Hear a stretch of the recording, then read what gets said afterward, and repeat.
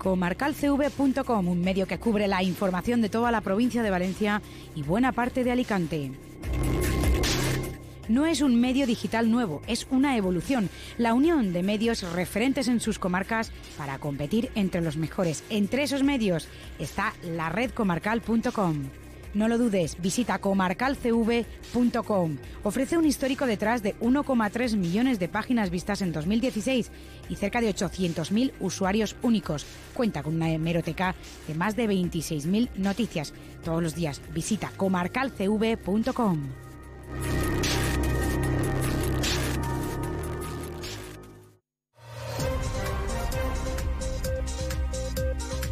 Radio Buñol.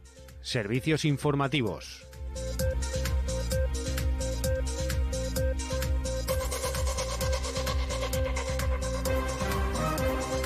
Política, sucesos, cultura, deportes, entrevistas. Toda la información comarcal en la 107.9. Con Pilar Criado y Raúl Martínez.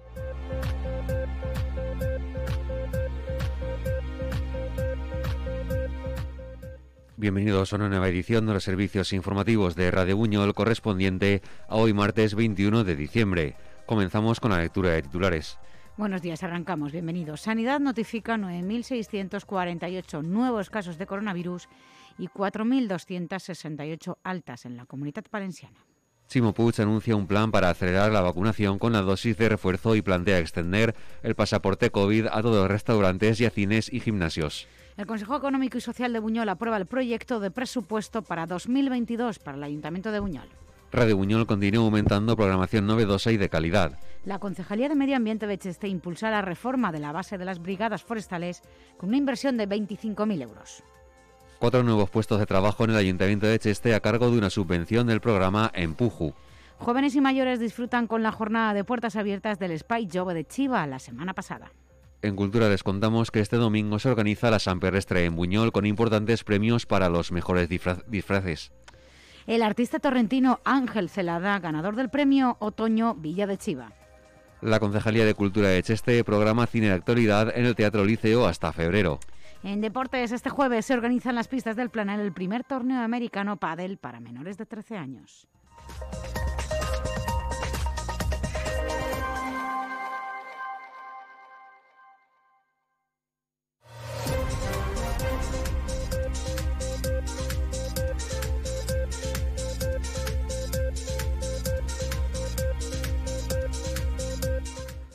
Pasamos ahora a ampliar nuestra información.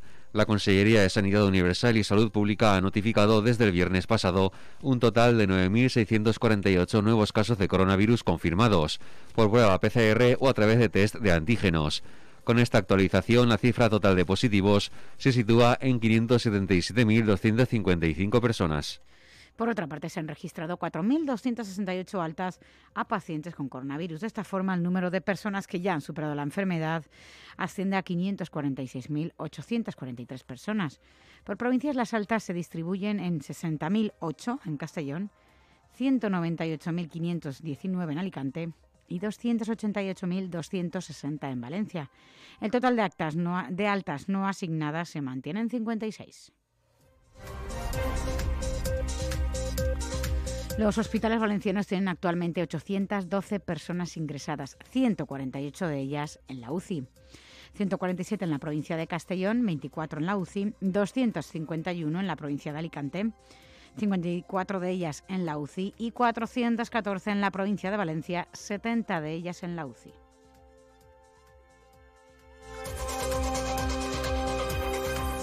Se han notificado 11 fallecimientos por coronavirus desde la última actualización, por lo que el total de decesos desde el inicio de la pandemia asciende a 8.032, 898 en la provincia de Castellón, 3.085 en la de Alicante y 4.049 en la de Valencia. De acuerdo con los datos registrados, en estos momentos hay 33.821 casos activos, lo que supone un 5,75% del total de positivos.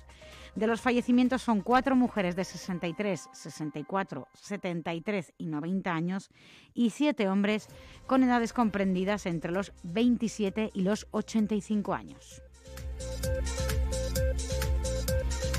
Y de Buñol en concreto, como siempre, hablamos con Juncal Carrascosa, alcaldesa de Buñol. Hola, buenos días, Juncal. Hola, buenos días. Bueno, pues unos datos, la verdad es que bastante negativos ya. Sí, eh, dentro de lo que teníamos previsto de que iba a haber un aumento y la verdad es que se están desbordando como, como en el resto de la comunidad valenciana y en el resto de España y prácticamente en el resto del mundo. 40 casos activos actualmente, tenemos una incidencia mayor a 400 casos por cada 100.000 habitantes. Ya es riesgo, es riesgo alto y, y bueno, pues eh, en realidad, ¿cuándo han empezado a aparecer más? ¿A partir de este fin de semana? No, no, no, A ver, a ver, vamos a ver. La, la incidencia que marca Consellería, que, los datos de Consellería, ya hemos dicho muchas veces que están más desactualizados que lo que sería la realidad. Sí. Nosotros, para saberlo de la realidad, lo que hacemos es ir contrastándolos con salud pública. ¿Por qué están más actualizados? Porque cogen la estadística lleva al menos una semana de cada ambulatorio, ¿no? Al menos una semana de retraso, ¿eh? ¿eh? por las fechas. Entonces nosotros lo contrastamos con salud pública y vemos si están equilibrados, si van bien o van mal.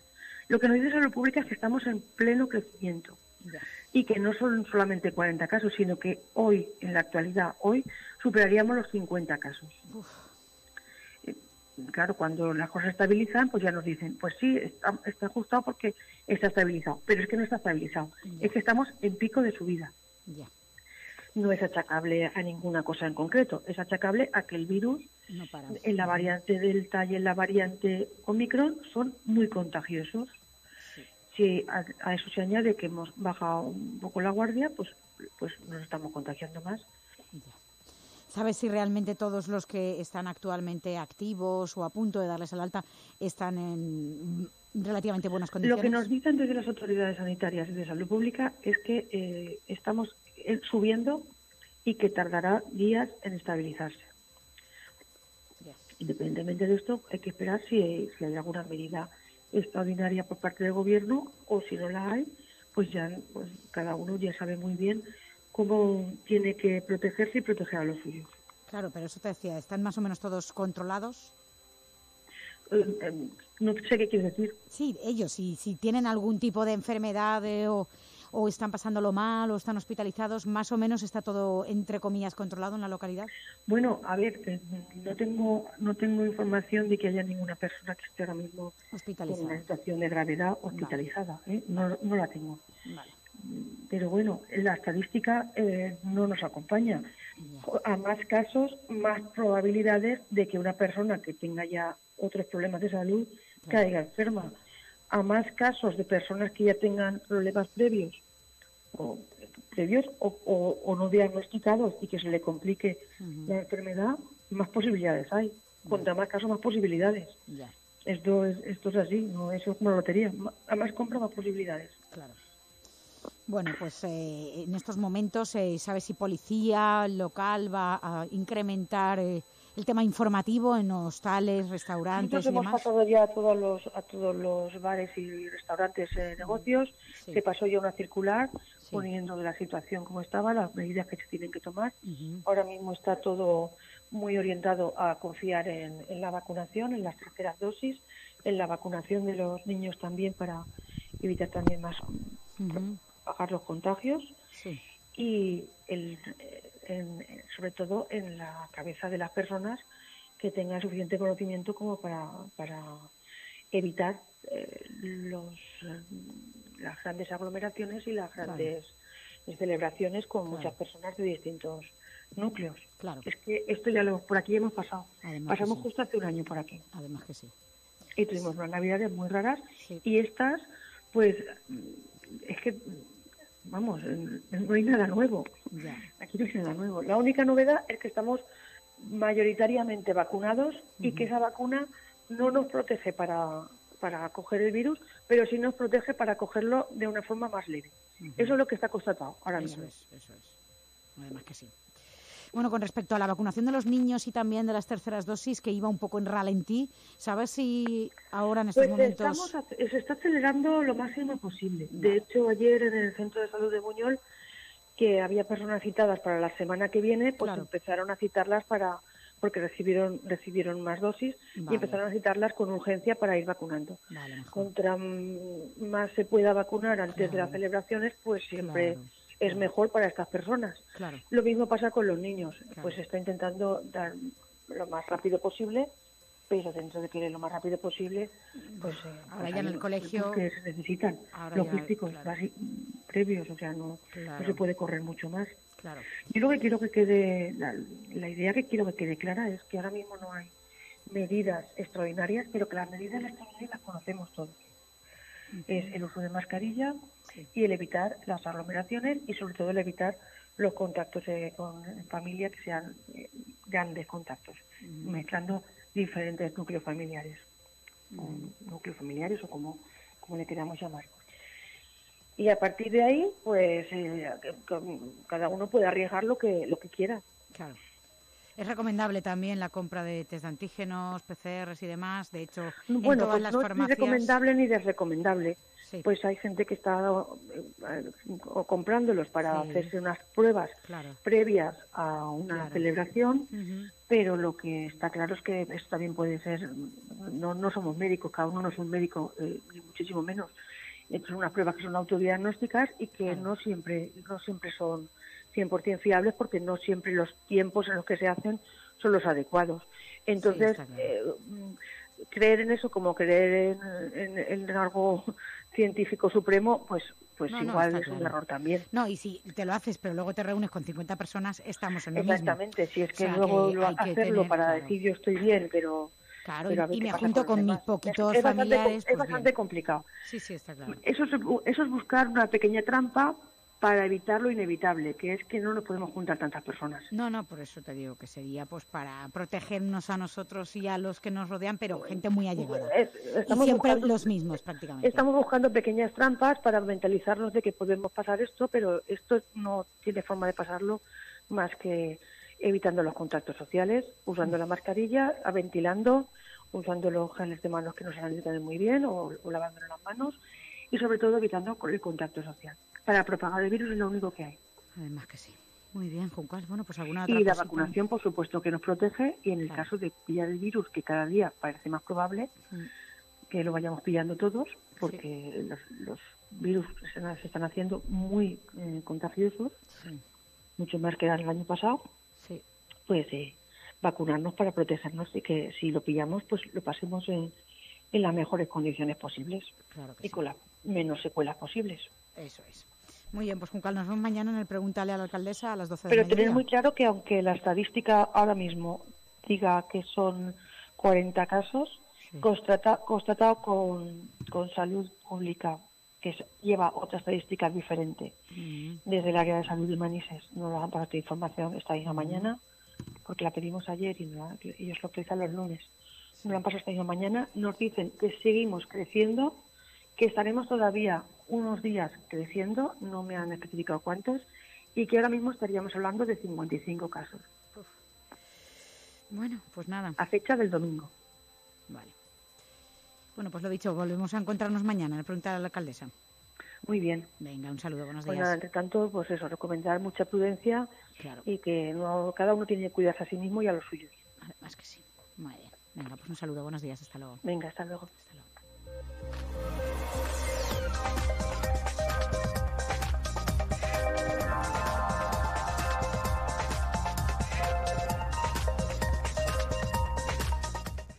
Les contamos ahora que el presidente de la Generalitat, Chimo Puig, ha anunciado un plan para acelerar la vacunación con 42 nuevos puntos estables para administrar las dosis de refuerzo a la ciudadanía. Y ha avanzado además que solicitará al Tribunal Superior de Justicia de la Comunidad Valenciana autorización para exigir el pasaporte COVID obligatorio para entrar en el interior de todo tipo de establecimientos de hostelería y restauración independientemente de su aforo, así como para acceder a cines, gimnasios y centros deportivos de diversa índole. Así lo explicó el responsable del Gobierno valenciano durante su comparecencia junto a la Consejería de Sanidad Universal y Salud Pública, Ana Barceló, para explicar los acuerdos adoptados en la Mesa Interdepartamental para la Prevención y Actuación ante la COVID-19. Los nuevos puntos de vacunación estables permitirán habilitar 147 equipos para la administración de las dosis de refuerzo y funcionarán con cita previa, de manera que las personas serán avisadas por SMS o por teléfono. Estos puntos estarán ubicados en locales como polideportivos, hogares de personas jubiladas o espacios integrados en los hospitales. Todo ello con el objetivo de descongestionar la atención primaria y acelerar la inmunización.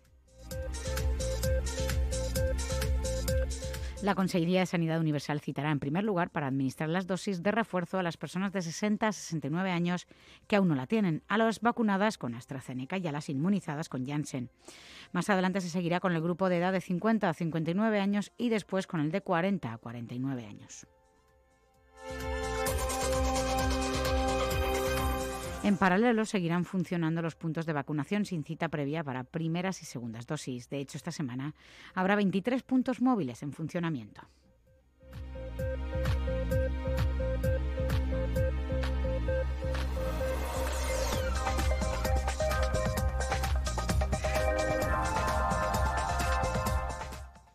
El Consejo Económico y Social aprobó ayer lunes 20 de diciembre en el antiguo IES el proyecto de presupuesto para 2022 para el Ayuntamiento de Buñol, que será defendido por el Gobierno Municipal en el próximo pleno del consistorio. Esta propuesta de presupuesto para 2022 fue aprobada por nueve votos a favor, dos de Comisiones Obreras, dos de UGT, uno de la Asociación de Empresarios y un concejal delegado de Hacienda, uno PSOE, uno Izquierda Unida y uno de Podemos y dos abstenciones, una del Partido Popular y otra de Izquierda Alternativa de Buñol.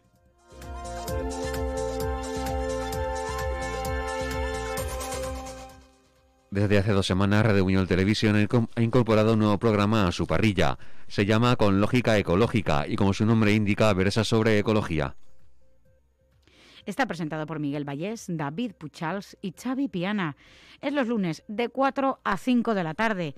De ello vamos a hablar con sus presentadores, eh, que vamos a intentar hablarlo por teléfono en Manos Libres. Los tenemos creo que a los tres más o menos juntitos y por eso vamos a ver si por teléfono podemos hablar con ellos. Recordar con Lógica Ecológica los lunes de 4 a 5 de la tarde un bellísimo programa sobre eh, ecología, medio ambiente y cómo mejorar y mantener nuestro querido planeta. Así que ya sin más, vamos a ver si podemos eh, contactar con ellos. Eh, los tenemos ya preparados al otro lado del teléfono.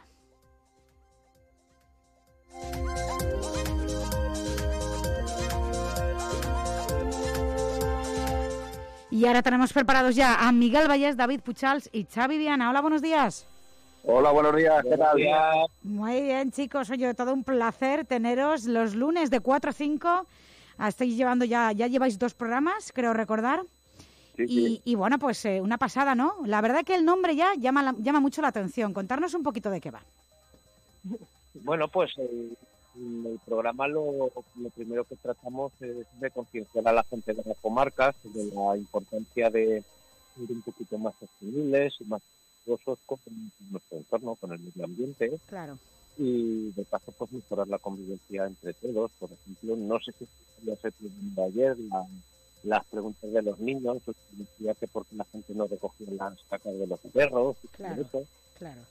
La sección, la sección esa del, futuro pregunta creo que que, que, tiene futuro, ¿eh? Sí, va a ser difícil. Va a ser difícil.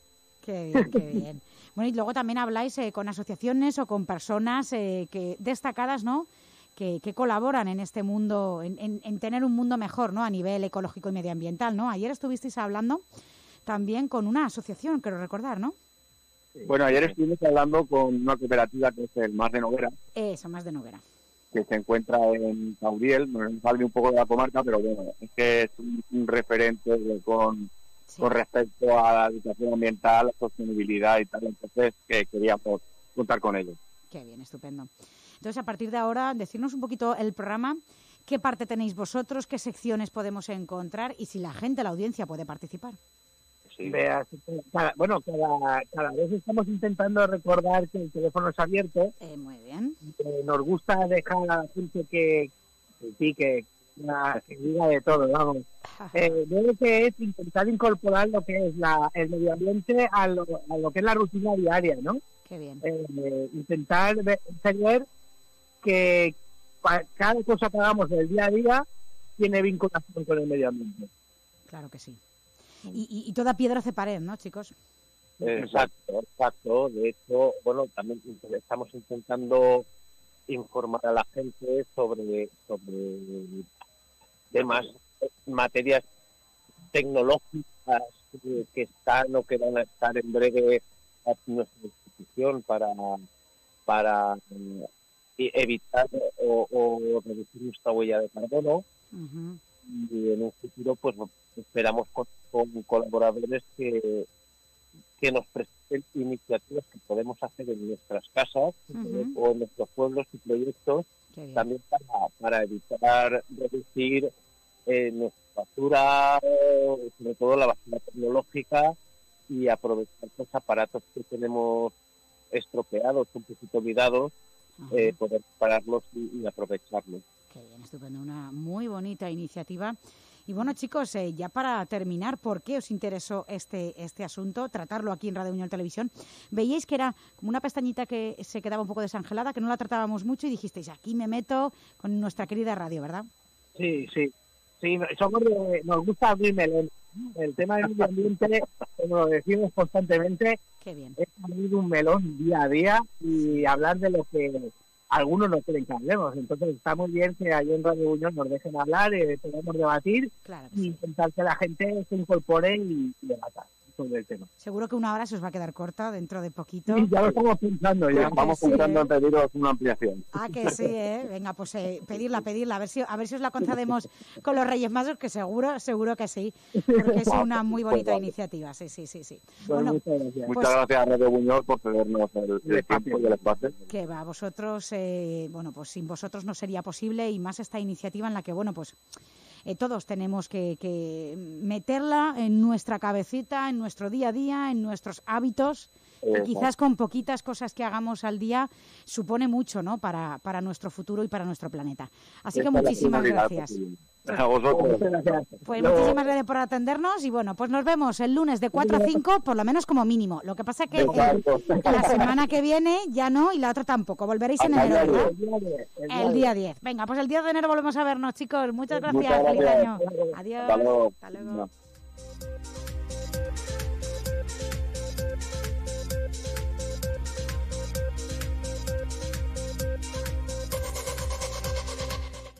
Durante el primer trimestre de 2022 se van a llevar a cabo las obras de reforma de la base de las brigadas forestales en Cheste, en las que se invertirán 25.000 euros, IVA incluido, a cargo de los presupuestos municipales que se aprobaron el pasado mes de agosto. Valoro enormemente poder contribuir a que las brigadas forestales permanezcan en nuestra localidad desarrollando su labor de prevención y reducción del riesgo de incendios. Por eso promoví la inclusión de la partida económica necesaria para la reforma de su base en los presupuestos municipales, apuntaba el concejal de Medio Ambiente David Puchals. Quiero reconocer su trabajo ya que cuidan de nuestros montes y con ello de nuestro planeta. Las brigadas forestales se encargan de abrir y mantener fajas perimetrales en zonas de interfaz urbano o forestal, realizando actuaciones alternas en las urbanizaciones de Los Visos, Cañada Fría, Cabeza Redondo y en los diseminados de Rincón de Pepeta. Otra de sus funciones es la adecuación de los caminos forestales del término municipal de Cheste, haciendo desbroces de cunetas y poda de ramas para facilitar el tránsito de vehículos de emergencia de ámbito forestal.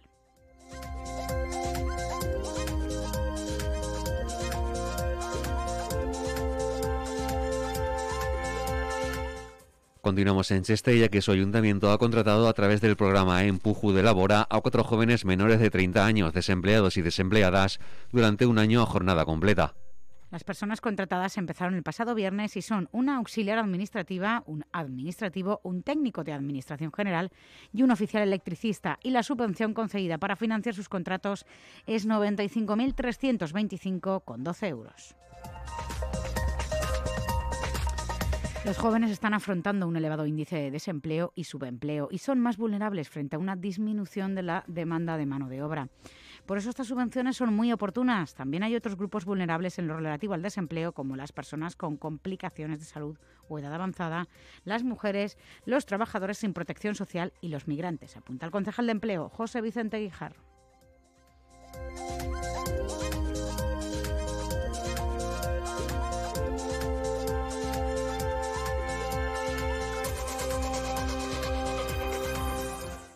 Nos vamos ahora a Chiva, ya que el Spy Jove es un punto de encuentro para la juventud y las asociaciones de la localidad. Un espacio abierto, lúdico y de formación donde entre todos y todas pueden encontrar actividades interesantes y adaptadas a su edad.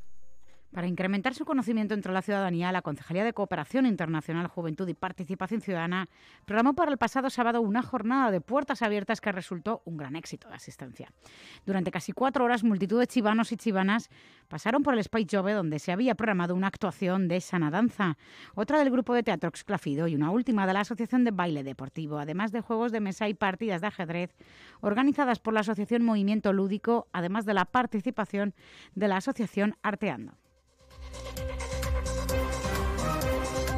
El edil de área, Quique Nachera, agradeció la implicación de las asociaciones para que la jornada fuera un éxito.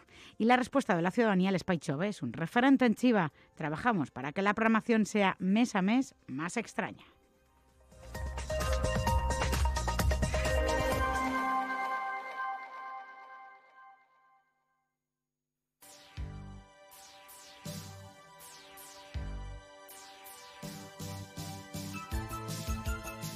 Tocomarca.com Un nuevo medio de comunicación para la olla de Buñol Chiva. Un periódico semanal. Ágil, moderno, profesional y de calidad. Las nuevas tecnologías al servicio de la comunicación. Con la posibilidad de acceder a la información a través de la edición impresa y nuestro portal en Internet. Con profesionales de la comarca para acercarte la actualidad más próxima.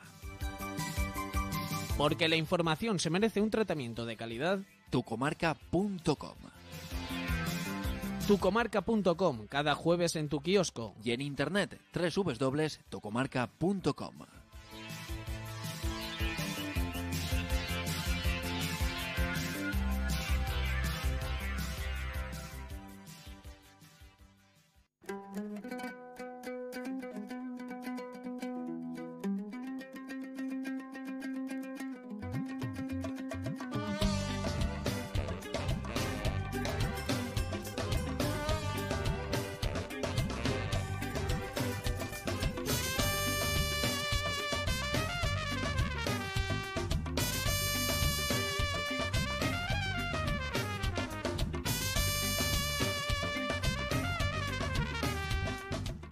Abrimos ahora apartado cultural. La Concejalía de Juventud del Ayuntamiento de Buñol organiza la San con unos premios muy suculentos.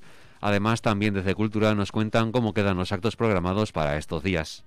De ello va a hablarnos la concejala de Juventud, Cultura y Conservatorio del Ayuntamiento de Buñol, Mireia Parla, que vamos a intentar ponernos en contacto por teléfono con ella. Como decimos, también, aparte de esta San Perrestre, que está organizada para este sábado 26 de diciembre a partir de las 12 con salida desde Plaza La Llana, también hay eh, actos organizados tanto por parte del Conservatorio como de las sociedades musicales para estos días. Va a comentarnos cómo está la situación, si se van a realizar, si se suspenden o no, y también esta San Perrestre, si la gente la ve animada y si de momento hay algún índice de eh, participación, de asistencia ya inscritos.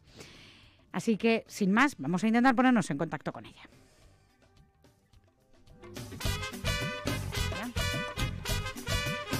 Muy bien, pues eh, lo dicho, ya tenemos preparado al otro lado del teléfono a Mireia Parla, concejala de Juventud, Cultura y Conservatorio del Ayuntamiento de Buñol. Hola, buenos días, Mireia.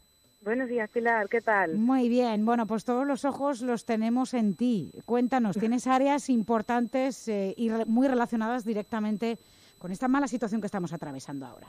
Tenemos en un pues principio el sábado la San Perrestre, el, domingo, que diga, el domingo 26, sigue en marcha, ¿no?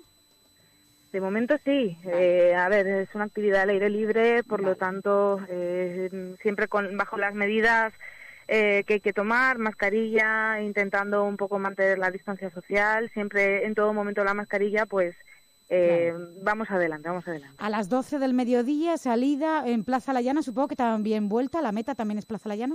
Eso es. Eh, bueno, a partir de las once y media ya va a haber música y demás. Vamos a ir recibiendo a todo el mundo que, que se desplaza hasta la Plaza de la Llana.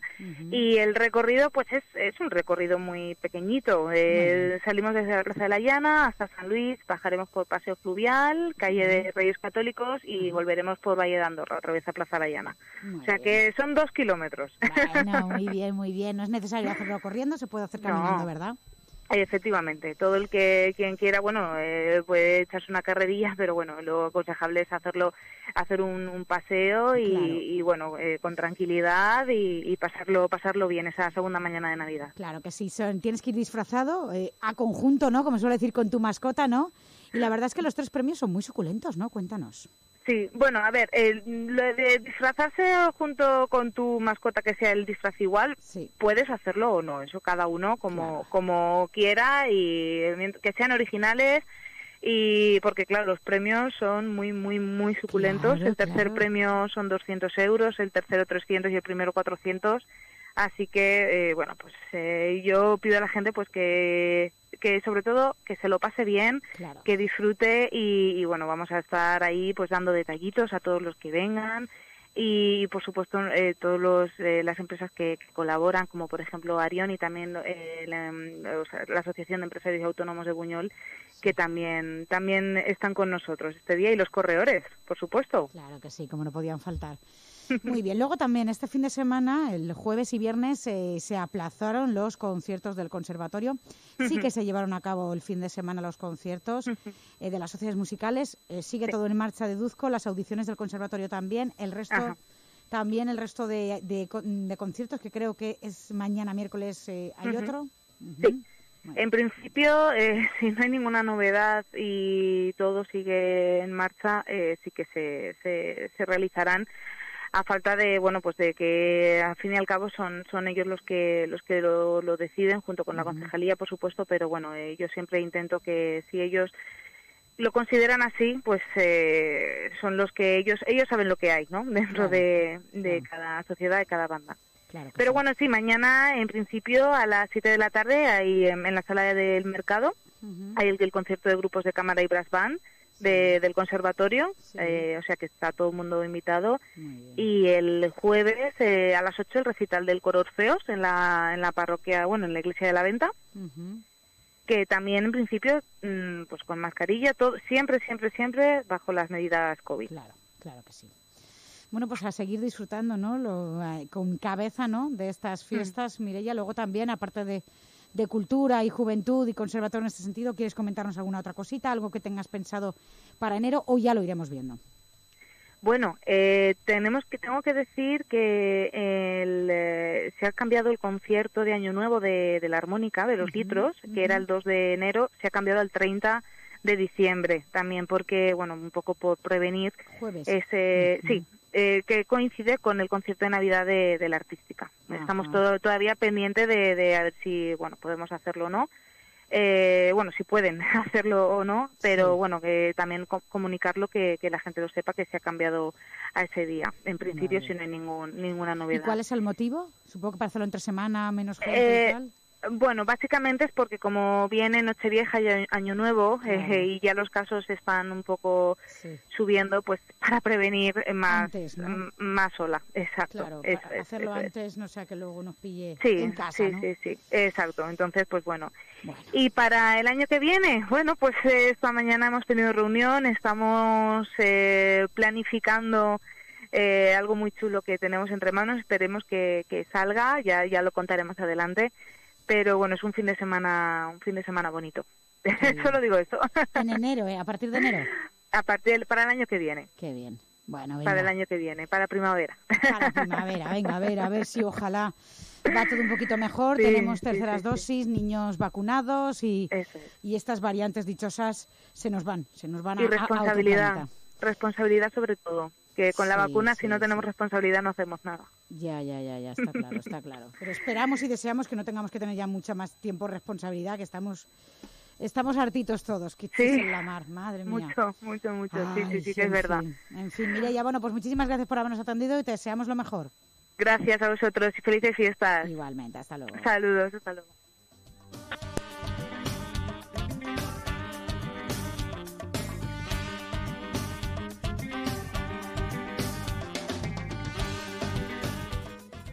El pasado viernes 17 de diciembre se celebró en la Sala Cultural El Lavadero la tradicional gala de entrega de la 31 edición de los premios Otoño Villa de Chiva 2021, con gran asistencia de público.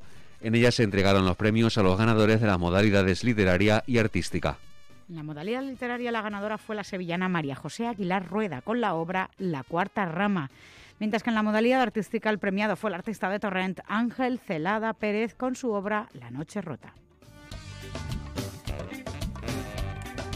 También se entregó un diploma a la mención especial de la modalidad literaria que recayó en la obra de teatro Reinas del autor Miquel Peidró, así como los reconocimientos a los 19 artistas seleccionados de la modalidad artística y cuyos trabajos se pueden ver y disfrutar en la exposición que se inauguró el mismo viernes y que estará abierta al público hasta enero de 2022 en horario de 6 a 8 de la tarde en la Sala Cultural El Lavadero.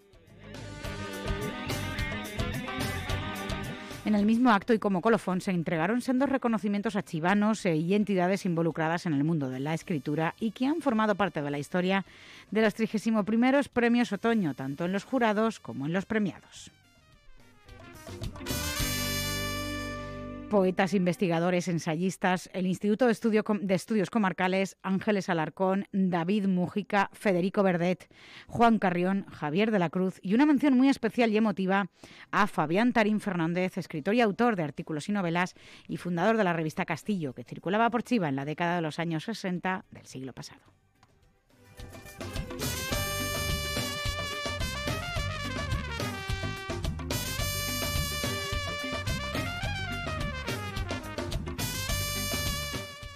Como ya viene siendo habitual en estas fechas, llegan a Cheste las tardes de cine en el Teatro Liceo, con 10 películas de actualidad para todos los públicos. El ciclo se abrió este domingo pasado, 19 de diciembre, con la proyección de la película de acción 007 Sin tiempo para morir a las 7 de la tarde en el Teatro Liceo. El mes de diciembre finaliza con el paseo de la finta El Lobo y el León, que tendrá lugar este próximo domingo 26 a la misma hora. Ya para el mes de enero serán cuatro los títulos programados: El buen patrón, Al abordaje, El último duelo y La familia perfecta. El ciclo concluirá en febrero con la proyección de Última noche en el Soho, West Side Story, Way Down y El cover. Como cada año, dice, hemos programado películas de actualidad recién estrenadas a un precio económico. Hemos seleccionado títulos de distintos géneros para todos los públicos y todos los gustos. Destacaba la concejala de Cultura, María Ángeles Llorente. Como sabréis, tenemos nueva normativa COVID, pero en los teatros con menos de 500 personas de aforo no está limitada la entrada siempre que todos y todas llevemos mascarilla. Decía, las entradas estarán disponibles en taquilla el mismo día de las proyecciones y también habrá venta anticipada en la web www.agendacheste.com y en los kioscos de la localidad. El precio de las entradas es de 3,50 para personas adultas, 3 si compran la entrada de forma anticipada y de 2 euros para niños y niñas de entre 5 y 14 años. Para los menores de 5 años la entrada es gratuita.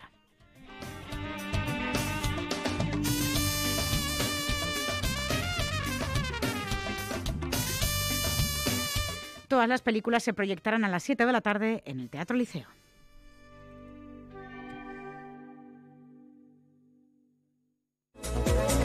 Hoy un clic, el nuevo diario digital de la olla de Buñol Chiva. La información más cercana, la información que te interesa, la información tratada desde todos los puntos de vista, la información actualizada al día en nuestra página web www.hoyunclick.es. Hoy un clic, el medio digital de la comarca para tu información.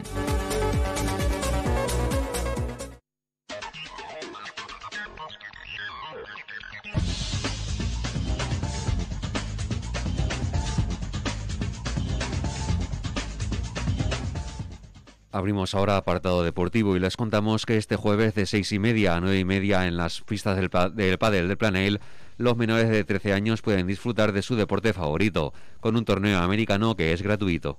Este jueves 23 de diciembre se organiza el primer torneo americano de pádel para niños menores de 13 años de 6 y media a 9 y media de la noche.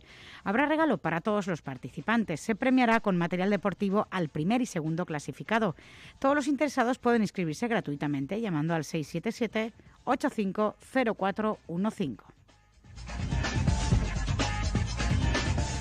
La idea de organizar este torneo para los pequeños de la casa es debido al gran auge que este deporte tiene en la localidad desde hace unos meses. Incluso es el club deportivo más numeroso después del centenario Club Deportivo Buñol. Paco Díaz, miembro del Club Padel Buñol, mostró interés por la organización de este torneo porque los niños que actualmente son muchos y que están recibiendo las extraescolares de este deporte en Buñoles Deporte, al ver a sus padres jugar en los torneos que va organizando el club, mostraron interés en poder jugar uno y así competir más allá de los entrenes que hacen las semanas. Así que dice, me puse manos a la obra y ya cuentan con 16 inscritos, aunque hasta hoy a las 8 de la tarde todavía pueden apuntarse todos los que lo deseen.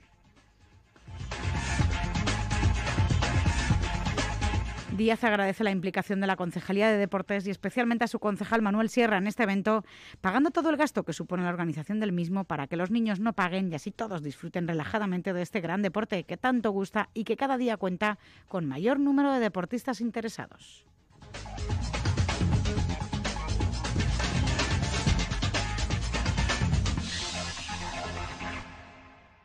Así es Buñol Magazine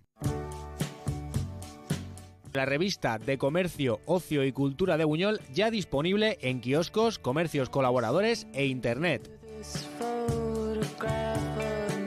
En ella encontrarás información de actualidad, servicios, alimentación, cultura y mucho más. Así es Buñol Magazine, despertando tu interés.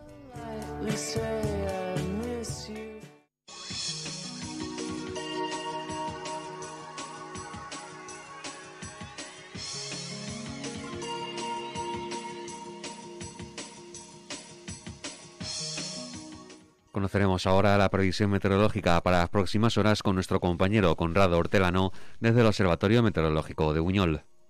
Buen día desde el Observatorio Meteorológico de Buñol. La noche pasada la temperatura mínima ha sido de 11 grados positivos, ayer la máxima de 17. A primera hora de la mañana la humedad ambiente al 78% y el viento de 30 kilómetros por hora. El pronóstico para la jornada de hoy, martes 21 de diciembre, todo apunta a que tendremos cielos con nubosidad variable y las temperaturas, tanto máximas como mínimas, eh, subirán. Las temperaturas mínimas a primera hora de la mañana, 11 grados a Buñol, 7 al Parque Eólico, 11 a Chiva, 10 a Cheste, 14 a Calicanto, 12 a Godelleta y Turís, 10 al Par a Loriguilla y 9 grados positivos a Reba. A partir de hoy comienza oficialmente el invierno. La nit passada la temperatura mínima ha sigut de 11 graus positius, és la màxima de 17. A primeres hores del matí la humitat ambient al 78% i el vent de 30 km per hora. El pronòstic per la jornada de dimarts, 21 de desembre, tot apunta que tindran ser la nuvolositat variable i les temperatures tant màximes com mínimes pujaran. Les temperatures mínimes a primeres hores del matí 11 graus han tingut a Bunyol, 7 al Parc Eòlic, 11 a Xiva, 10 a Xès, 14 a Calicanto, 12 graus a Godelleta i Torís, 10 a Loriguilla i 9 graus positius a Reba. A partir d'avui comença oficialment l'hivern i de moment és tot. Des de l'Observatori Meteorològic de Bunyol, bon dia i fins demà.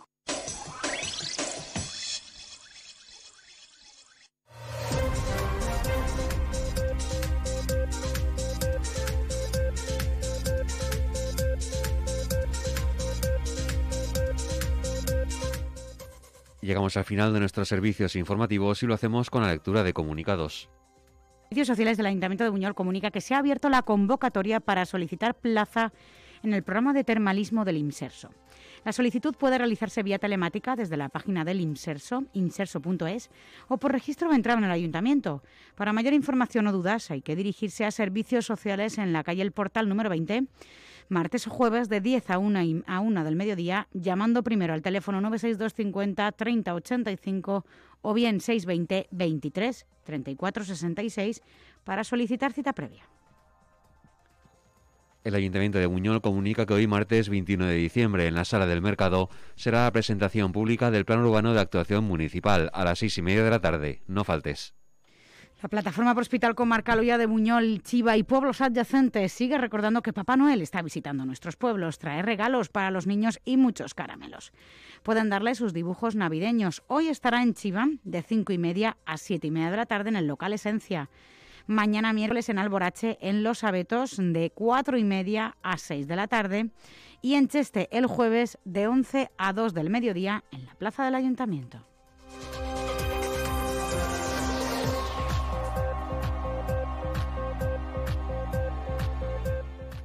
Tras la lectura de comunicados ponemos punto y final a esta nueva edición de nuestros servicios informativos a nivel local y comarcal. Más información en próximos boletines o en nuestra página web radiotv.uñol.es. Muchas gracias por su atención.